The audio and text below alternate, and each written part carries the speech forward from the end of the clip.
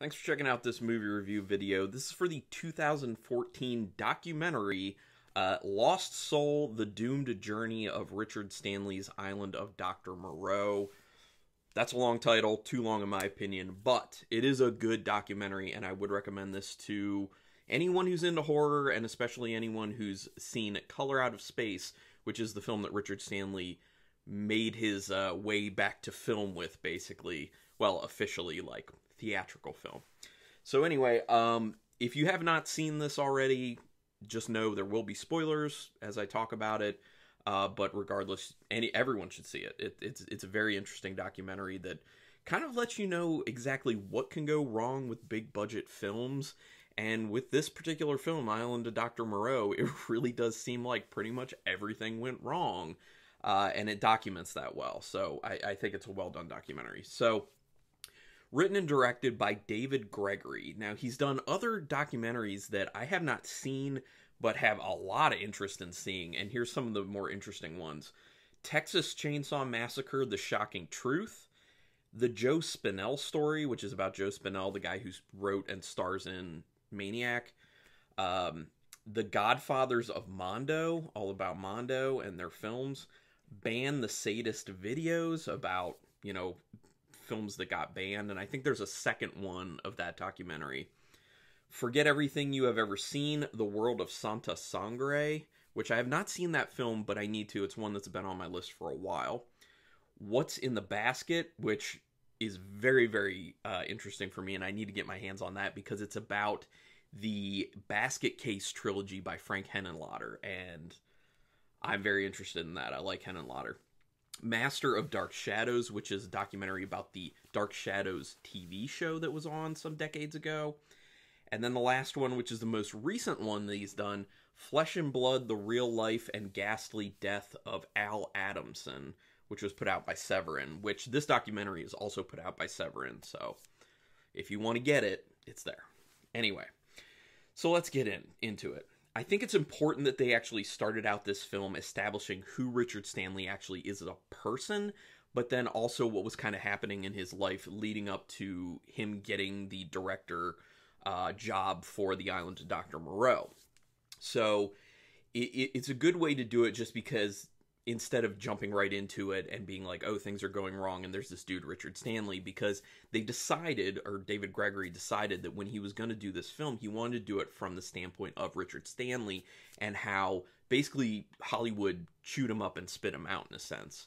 And I'll talk about, you know, some ideas on kind of what exactly went wrong and I, think there are some things that that were a bit malicious that ended up happening, some things that were a bit negligent, and some things that just happened that created the perfect storm in a way for things to just be terrible and you know make Richard Stanley swear off making film for a certain time. And I'm glad that he didn't stick to that and 20 some uh, sorry 20 some years later came back and made Color Out of Space with Spectre Vision which if if you haven't seen it definitely check out Color Out of Space. It's really good.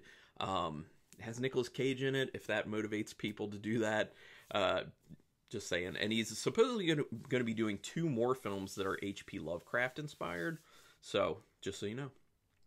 It's also good that they have uh, Richard Stanley talk about his feelings about the original book and also his vision that he saw. Like, not only his vision for what the film was going to be in his mind, but also the vision of kind of what the original story kind of meant to him and what it meant to society and all the themes and the subtext in there. Because then it helps you understand more of like what his grandiose vision was and potentially what the film could have ended up being. So it really sets you up ahead of time before they start taking you down the path of these are all the things that went wrong, giving you this overall idea of this is what the film was going to be. And it, it plays well for people who, for everyone really, whether you've seen The Island of Dr. Moreau or you haven't, or if you're someone like me who you've seen it, but it's been so long that you only remember bits of it and just remember that it sucked, which is probably what most people remember from it. Uh, very aimless film, but uh, it shows his level of interest in it and also just the understanding of the material that makes you believe that if he was able to go through with his entire vision, that really it could have been something special because of how invested he seemed in it. And everyone after him, everyone else involved in it, I mean, certainly Brando and Kilmer didn't really care that much about the material because they were very much about kind of throwing wrenches into the gears as much as they could. But then also even like John Frankenheimer when he came in to direct after Stanley got fired, where he, you know, it just didn't seem like he cared that much about the the base material. And that's one of the problems is when you have a director who comes in and they don't really care that much about the story. They don't really care that much about the base material. And they also are trying to change the vision. That's hard to make that successful then. And then you add in those extra aspects of you know, letting people screw with it even more, like Brando, letting Marlon Brando make all these changes on the fly, and then Val Kilmer, like being toxic on the set and causing people to have bad moods. You know, it, Brando could have done that too to a degree just because people uh, could have just been getting very frustrated with how things were going with him. But by all accounts in the documentary, people were saying he was nice to people. He just was a, a severe pain, basically. Uh, whereas Kilmer was just a total jerk to everyone, as they said, like a, a high school bully or a, a, frat guy bully or something. One of the biggest problems with the film, I I don't. It's not something that can be changed or solved. It's just the fact that, and I'm sorry to say this because I like the guy personally, Richard Stanley is not interesting to listen to. What he's saying is interesting to listen to, and he's a very intelligent person. He has a lot of interesting things to say. The problem is the way he says it. He's very monotone.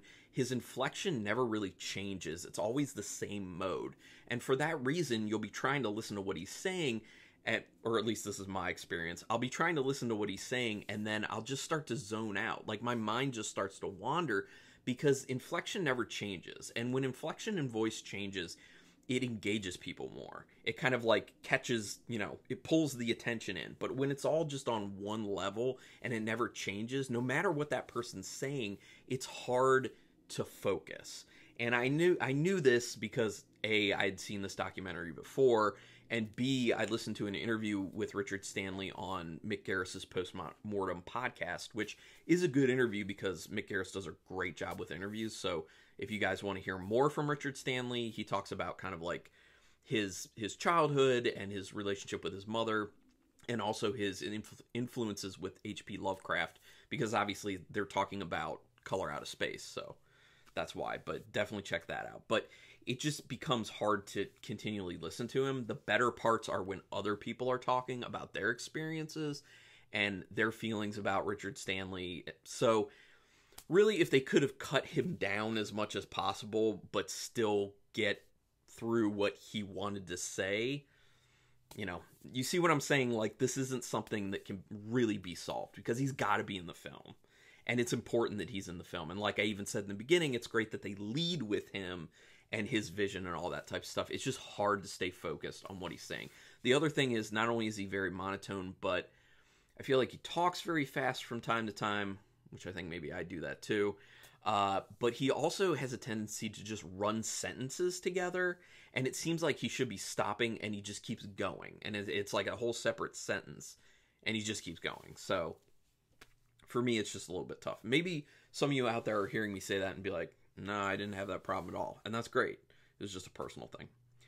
Going over the concepts of what Stanley was going for fleshes out in your mind what the film actually would have been. And even more helpful with that are all those sketches that they showed, which looked awesome. Like those really colorful drawings of what some of those scenes were going to end up looking like. That made me very sad for the film that we never got. And it but it was also cool to kind of like get that glimpse into Richard Stanley's mind at that time saying this is what it was going to be. This is how cool these scenes could have been. Uh, but then, you know, things went very bad. The talk about Mike DeLuca's interest in making the film and Bob Shaye's indifference kind of ended up setting the stage for the chaos that was going to end up ensuing. The problem is when you have someone who's very interested in it and then you have someone who's not, and they're both very much important to the making of the film, it's a problem. You know, people have to be invested. People have to care about it getting made. And I think to a degree, you know, Bob Shaye did care because there was a lot of money being put into it. You know, it's his company and obviously, I'm sure he did not want it to fail, but especially with someone like Richard Stanley, who was a relatively new director. He was very young, and um, you know he had never done a bigger budget film before. He had never worked with very big stars on a set before. You need to have the right approach. Like you have to take that interest. You have to be available. You have to, to a degree, be very nurturing in that way. And I think that's one of the biggest things that went wrong there is that they kind of left him to his own devices to a degree they needed to kind of coddle him a little bit more, nurture him a little bit more, more, and understand he hadn't done something large budget like that before. He's a great director, but he had only done small things. He had he had been doing it in very small budgets where there aren't typically are not huge egos to have to deal with, and things are done very differently, very very differently, and the expectations are a lot less uh, on that level as well. So I just and I think that Richard Stanley didn't have the personality either to deal with some of the stuff he had to deal with, with the strong personalities who were fighting his vision, and then also the actors who didn't really necessarily want to listen to what he had to say or didn't respect him the way that he should have been respected as a director because it seems like he he's more of a nice guy type. You know, a lot of the people they were that were interviewed their opinion of him him was great guy, real nice guy you know, no one was really saying he was a take charge type dude. He knew exactly where everything should be and was pointing out what everyone needed to do. And when someone challenged him, he put them in their place and he said, you know what? This is the film. I'm the director. We're doing this. So maybe I'm wrong and maybe it was just left out of the documentary. But the feeling I got from it was that he didn't have the personality to take control the way he needed to with that group of people and with the scale of how big it was. By all accounts, awesome dude, really good guy but you know maybe that just wasn't something he could do like handle a large budget film like that.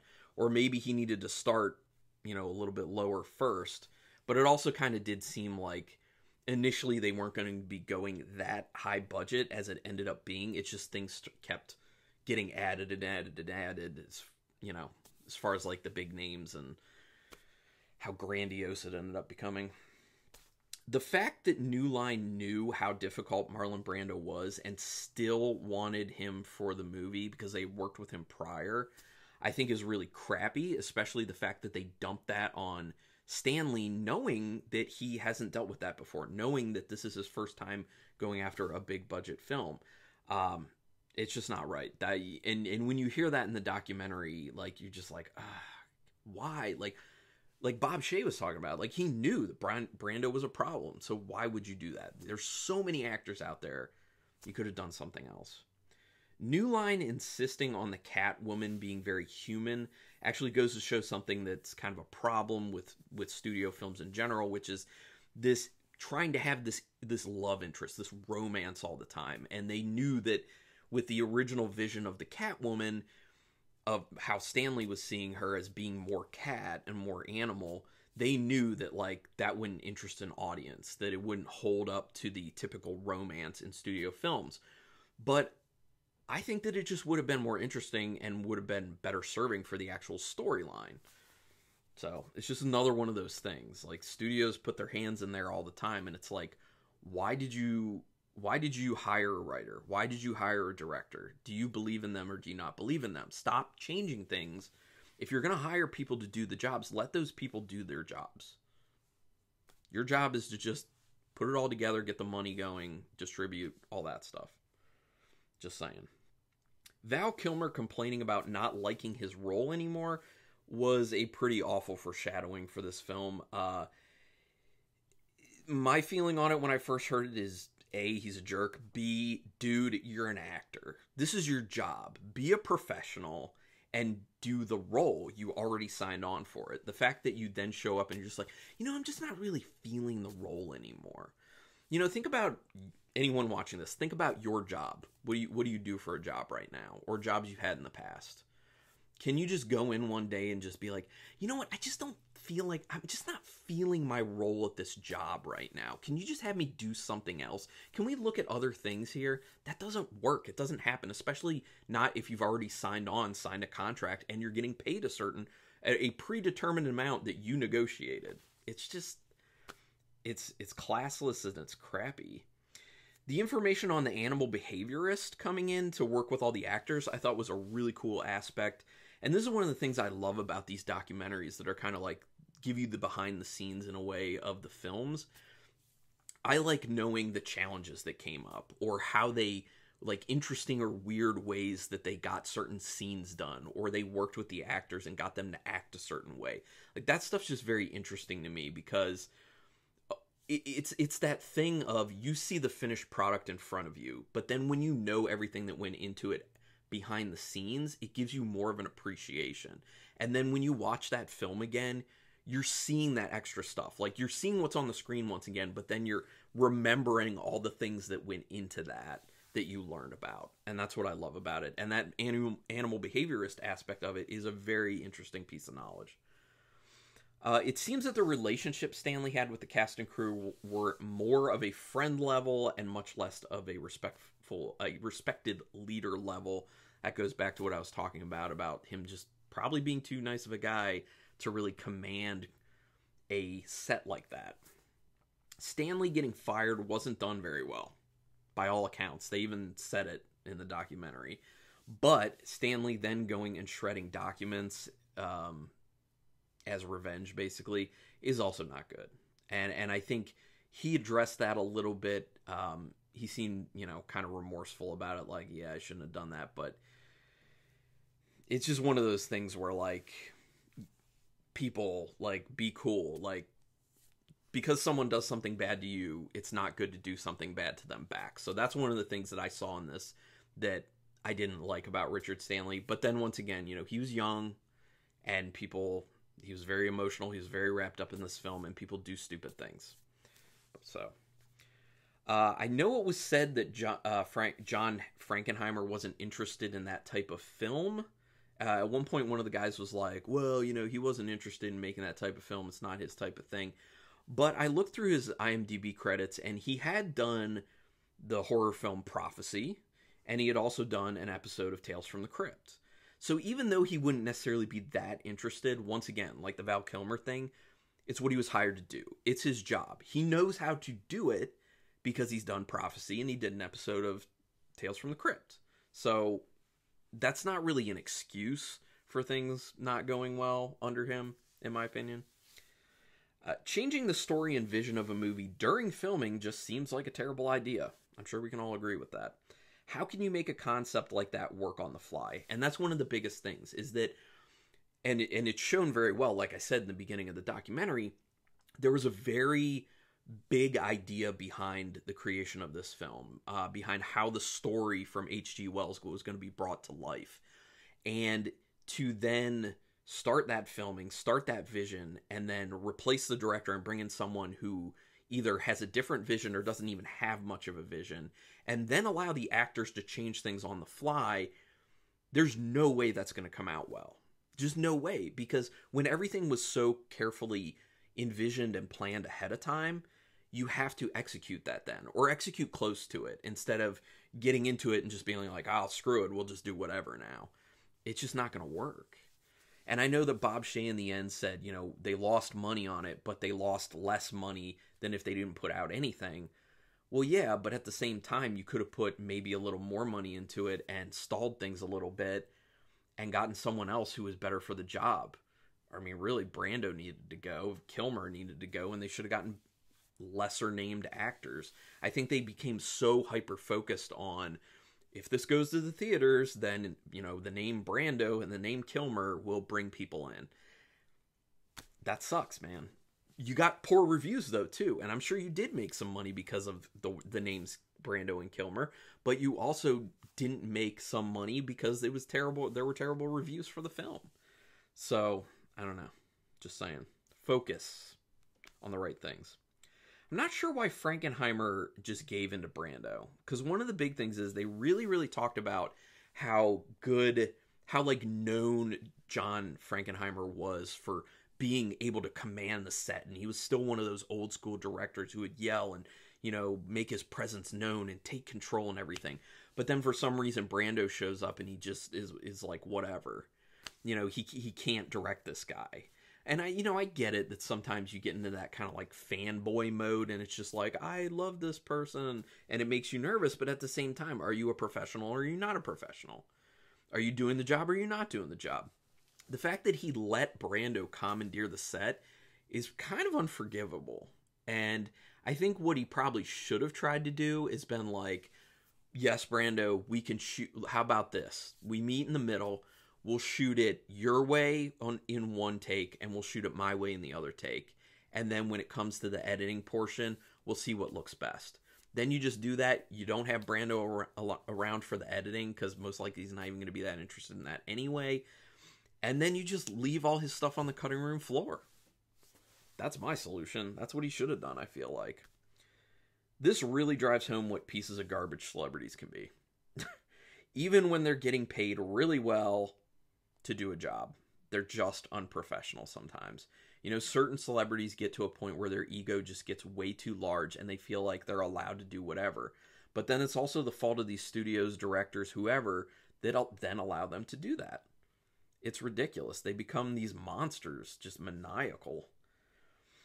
Things just spiral further and further out of control, which, you know, generates a lot of interest for the documentary. It's great for the documentary how insane it is. But if you're looking at things from the Richard Stanley point of view, it's just it makes you feel worse and worse as the film goes on. Um, and the last thing about the actual film events is it's crazy to know that Richard Stanley, after being fired, actually ended up being in the film in so, to some degree as the dog man extra, which I just like that little twist in everything is probably the most compelling, interesting thing about it. And I love his kind of statement about going from being like the Dr. Moreau type character who was the creator and everything, and then ending up the dog man who was the creation. And I thought that was cool. Uh, so my closing thoughts on this film. Uh, I feel like New Line put uh, put a lot on Stanley without actually knowing him as a person and knowing how he operates as a director. Then Kilmer and Brando walked all over him, and he didn't know how to deal with them, which threw him off of his vision. Actually, I don't think Brando even had shown up yet until Frankenheimer took over. So yeah, Kilmer at least. Yeah. Uh, unfortunately, Hollywood does destroy some some directors like this. Uh, in this instance, like I was saying, I think it was a mixture of intentional, unintentional, and you know, just wacky things that happen, like that giant hurricane that, that messed some things up too. But I would say one of the stories to look into, it didn't fully destroy the person, but it definitely did mess up their trajectory of their career. Uh, Xavier Gens, who became known to Hollywood from his film Frontiers that he did, which was part of the French Extreme movement of horror films. He was brought into Hollywood and he directed that movie Hitman with I think Timothy Olyphant in it, he shot it to be an R rated film. Then the studio told him, Oh, we need this to be a PG 13. And he was like, I did. I, I shot it as an R. You didn't tell me it needed to be a PG 13. I shot this as an R. This is my vision. This is my film. So they gave the footage to an outside party to cut it down to a PG 13 film. And it sucked. And Gens walked away from it and said, This is not my film. I want my name taken off of it. And, you know, things like that happen in Hollywood and it sucks. And and this documentary further exemplifies how things can get screwed up and how people's careers can get screwed because of this type of stuff. So Hollywood, there's a lot of problems with it. But anyway, this documentary done well, shot very well for the most part. There were a few moments where the interviews with Bob Shaye, the lighting got it got really dark, excessively dark on Bob Shaye.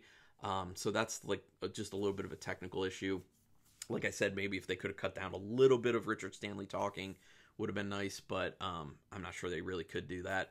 Uh, but overall, good, really well put together. The pacing's really good. It doesn't feel too long or anything. They cover the topic quite well, so I quite enjoyed it. Um, it's not perfect or anything. Um, they might have been able to cut it down just a little bit. Now they might have actually been able to add some. I enjoyed it, but so out of five stars with uh, half stars in play, I'm gonna give it a four star rating uh, as far as the documentary goes. It's good. I enjoy it, and uh, like I said, I want to see more of David Gregory's stuff. I'm gonna seek that out. But anyway, give me your comments down below about what your thoughts on this were. Um, love to read those. And do me a quick favor though, hit that subscribe button. Um, that's what you can do to repay me. Uh, you know, if you like any videos that I do here, I'm I'm just doing it for free, spending my time doing this. So um, just hit that subscribe. I really do appreciate that. And also hit the notification bell if you're going to do that because it lets you know whenever I put up a new video or when I'm doing a live stream or anything like that. But regardless, thanks for checking this out. And until next time, keep it brutal.